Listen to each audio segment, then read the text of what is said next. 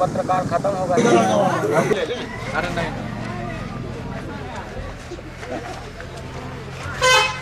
तीन जाती कुछ हो बात इसमें रात में समस्या होती है तो आप जब जानवर आते हैं, रात में इस तरह दौड़ना पड़ता है। कि परेशानी होती है। किसी जानवर को मारते हैं मान लो तो अपने लिए दिक्कत होती है। इसलिए मारते भी नहीं है निकाल देते हैं अपने खेत से। अगर आदमी से कहते भी हैं तो आदमी लड़ने के लिए तैयार होता है। अब ये ये समस्या है बाबूजी। किस नुकसान जानवर बाबू जी इस तरह से कहते हैं। मान लो अब हद से ज़्यादा पूछे नहीं हम्म। इतना नुकसान होता है। फ़सलें जब आ जाती हैं फ़सलें में इस तरह जानवर चढ़ता है बाबूजी रात रात भरे मान लो हमें घूमना पड़ता है। हम्म। हम ही नहीं अन्य चलो और परेशानी है। हम ही भर उन्हें हम ही भर के लिए परेशानी हो। ये सब जानवर छूटने की अन्ना प्रथा है। जानवर जैसे यही है जो गाय है नटवा है बच्चा है इस तरह के जानवर छूटते हैं। हम्म। अब इन्हीं की समस्या होती है बाबू जी बस ये रुक जाए मान लो पैदावार बढ़ जाएगी बस ये होता है।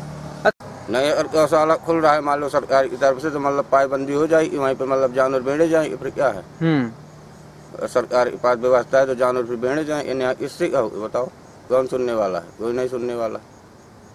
जिसका जानवर भी है, वो लड़ने के लिए तैयार होता है, और उसके दरवाजे में जाए तो भी लड़ने के लिए तैयार होता है। बाबू जी ये समस्या है। नवीन व्यवस्था के अंतर्गत इस समय बृहद गो संरक्षण केंद्र हेतु जो है, आदेश शासन से मिला है। इसमें जो है, चार सेट का निर्माण होना है।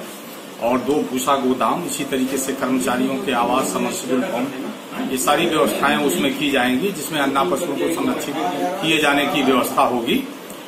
इसके अतिरिक्त जो है, हमें सबसे पहले भूमि का चिन्हांकन की प्रक्रिया करनी होगी, और ये माननीय जिलाधिकारी महोदय को संज्ञानित किया जा चुका है अपने मंडल के चारों जनपदों में। भूमि के चिन्हांकन का कार्य चल रहा है, और इसमें लगभग एक हेक्टेयर से ऊपर हमें परती भूम या बंजर भूम इस तरीके का जो है भूम चाहिए जहाँ पर कि हम इन, इनका जो है निर्माण वो किया जा सके। इस निर्माण जो है वो शासन से पैक्स फेड जो है कार्यदायी संस्था भी नामित हो चुकी है ये कार्यदायी संस्था इस निर्माण कार्य को पूर्ण कराएगी।